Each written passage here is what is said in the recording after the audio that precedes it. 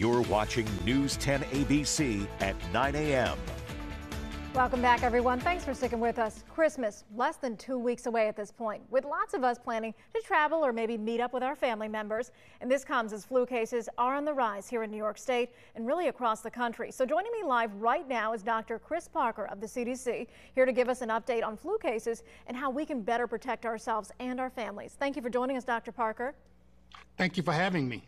So this is very timely for us because just in New York State, we've gone from a minimal level of cases of the flu to a low level of cases. So we've gone up and we're seeing quite a few reactions on a local level as well. What are you seeing throughout the country when it comes to flu cases?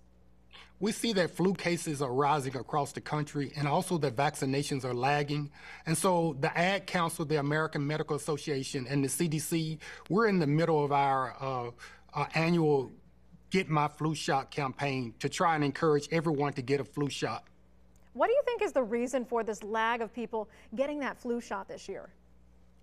Well, we know that we're in a season of gathering, and there are families that will be gathering. There are gatherings in the, our communities. And so we know as we uh, approach the uh, peak season of flu that it's important to get a flu shot. And so what we're trying to encourage everyone is not too late and that everyone should get their flu shot. Is there anything you can tell us specifically about flu cases in the Northeast, as again, we are seeing a rise here in our state, Dr. Parker? Right. We're seeing rises across the nation. We know two regions, the Southeast and the South Central, uh, they are rising faster. As far as in your local area, you can reach out to your local health department to get more details on uh, the rising cases. But everyone, with few exceptions, six months old and older, should get a flu shot. Now, part of your new PSA through the CDC is encouraging more black and Hispanic Americans to get the flu. Why is this an issue that you're targeting?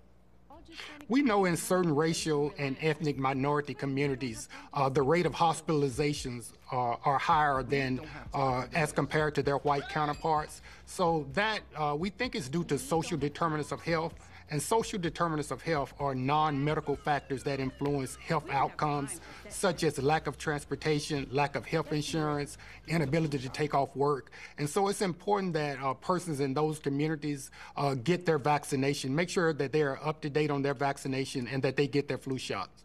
Now, Dr. Parker, we have a lot of female viewers, especially during this time period. So I want to ask about how they can give better advice because we know women primarily take care of a lot of those appointment tasks and booking those appointments for doctors. How can they help encourage, especially some of their more vulnerable family members, to get that flu shot? I think the way to help encourage, I can tell you myself that I've had my flu shot. I'm up to date on all of my vaccinations, and I encourage uh, members of my family by letting them know it's not just about me or just about one person, but it's so that the family can gather safely.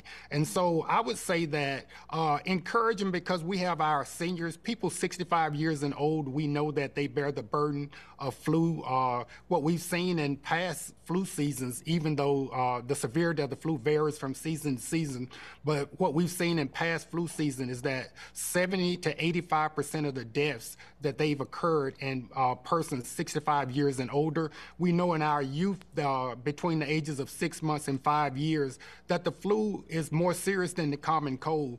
While it's important for everyone six months of age and older to get their flu shots, uh, we understand that we can help protect ourselves, but also protect other family members. What's your message for people as we go into the holiday gathering season where a lot of people are going to be getting together with those family members of all different ages?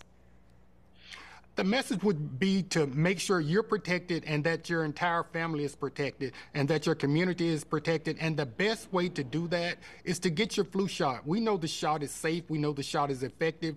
Last flu season, we saw that 50% of the people who got a flu shot had uh, uh, reduced risk for getting the flu. And of those who got the flu, there was a 50% risk in reduction of being hospitalized. Thank you so much for providing all this important information, Dr. Parker. Really appreciate it. Thank you. Happy holidays. It's 928 right Thank now. You. We're going to be back with more news, everyone.